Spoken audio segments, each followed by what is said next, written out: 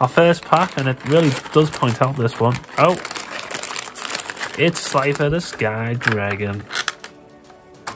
You know, that's quite cool, you know. Look at that little bad boy. That's a god, isn't it? Yeah. Yay. He's got his two heads, I'm learning. his long ass snake body, and he's like, Hey me calm down, calm down.